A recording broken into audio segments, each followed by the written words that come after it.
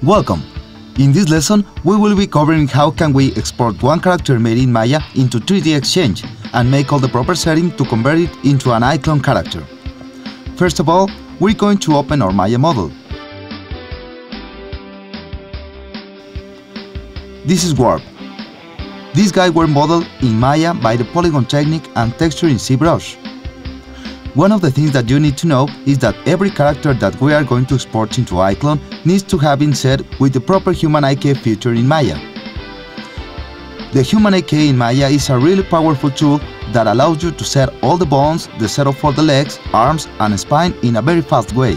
You can find a lot of great tutorials in YouTube where the Human IK technique is properly explained.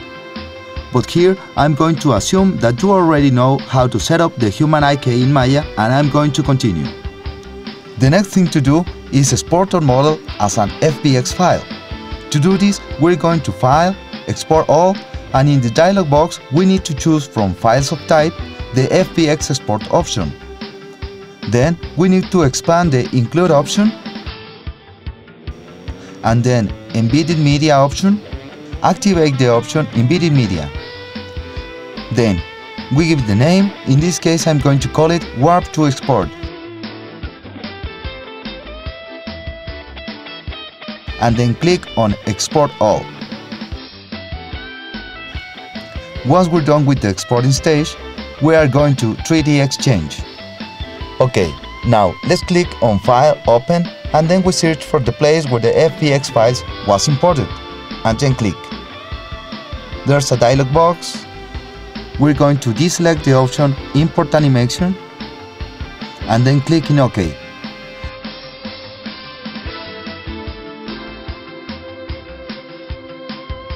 Here's our character, and we can see all the human IK in the scene tree. Now, we need to convert this character into a non-standard character. So, we're going to go to the Modify bar and locate the character options, and click on the button Convert to Non-Standard. There's a dialog box right here, so we just accept, and here we can see the Convert joints. The next thing to do is that we need to set the proper preset from where the file has been exported. In this case, we're going to use the Maya Human IK because as we've seen it before, we set our character with the rig Maya Human IK. Also, we have another preset in case you were working with another software like 3D Studio Max. We have the proper setting for the biped rig. Now, we're going to proceed to see the calibration on the model, so we can be sure it will be working just fine in iClone we need to activate the active option. Then we can preview different kind of movements to check the animation in our character, like head calibration. Click the preview button to see the animation working, as well as the other presets.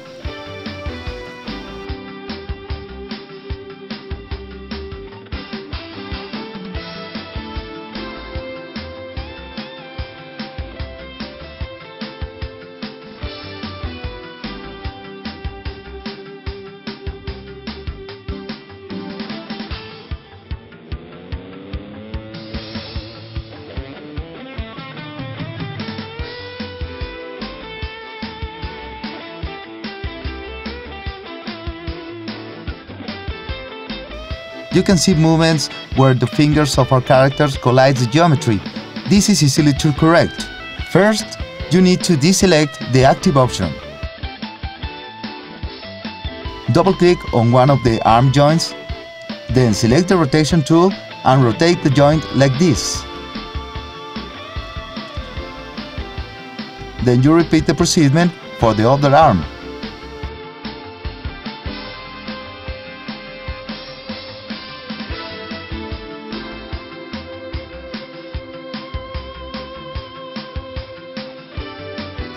Then click on the Convert button so we can set our character. Now, we just click in Apply to iClone and you will be sent to iClone with our character ready to set our animations. Then, you can see the maps are kind of lighted, so we can go to the Actor Skin tab, locate the section where the maps are loaded, and then we can select the diffuse map. Go to the material setting and adjust the specular map.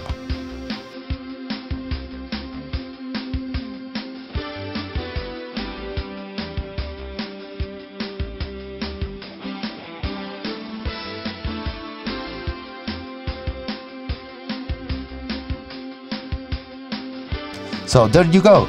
You have converted one character from Maya to iClone.